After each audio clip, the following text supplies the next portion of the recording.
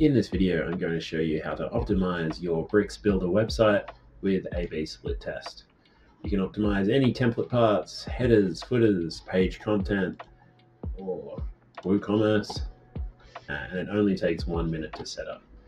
Let's set up a test to see if we can optimize this header and maybe set up a second test to see if we can optimize this product page. We'll create a new test. We'll call it bricks header. Now, if we're testing a template part like a header or footer, we will do an on-page test. If you want to swap out different pages like home pages, contact pages, blog lists, shop pages, things like that, you can do full page tests. The conversion goal trigger, this is what shows that the test has been successful. Because it's a WooCommerce store, we're going to use the checkout order received page. So when they place an order, that will fire a conversion. We're going to test on customers and logged out users, and that's about all we need. Now that test has started, all we need to do is go back to our header. We'll edit the header inside Bricks. And what we're going to do is we're going to create two different header rows. And we're going to change them around a little bit. We'll get rid of this icon list.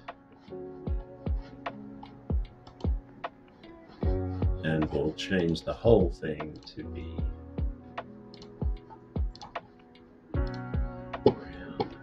There we go.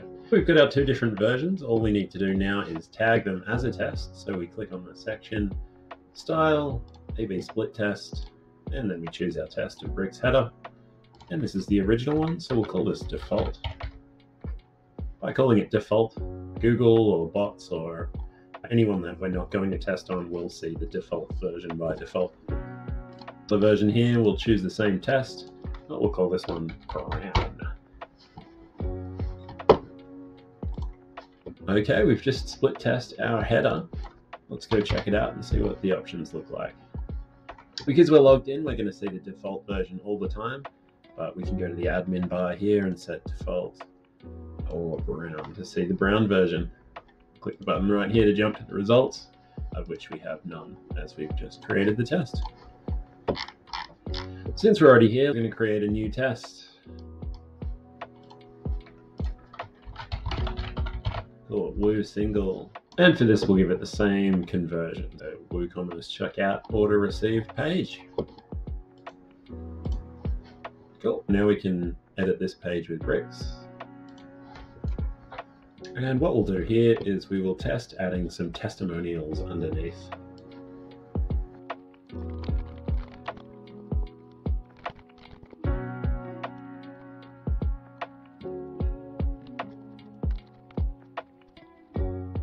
And then we'll create another option. Okay, please ignore my terrible design here, but you get the idea. All you have to do here is select the container. Now it doesn't have to be the container, it can be absolutely anything at all. It can be split tested. You can swap text out with a heading, with a container, with anything. But just in this example, do containers just to keep it easy. Again, we just go A-B split test. Choose our test, Woo single. This variation will be three things, we'll call it. And then this other one, Woo single and we'll call it testimonial. Saved.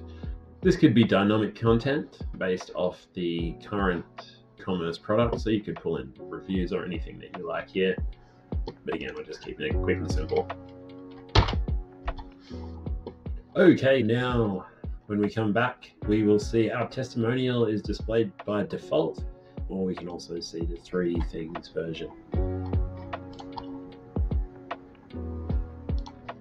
Okay, now let's wait for some results to come in and then we can check out the results. And we'll come back after a while and let's check out the results from our header split test where we have the brown or the default. And so far it looks like the brown has a higher conversion rate with a higher chance of winning but we don't have quite enough information yet. A-B split test does all the statistics to know when we've got enough data for visits and conversions. So once this gets to a 95% confidence, it will let you know. There's a heap more that you can do with A-B split test, including using our free conversion AI.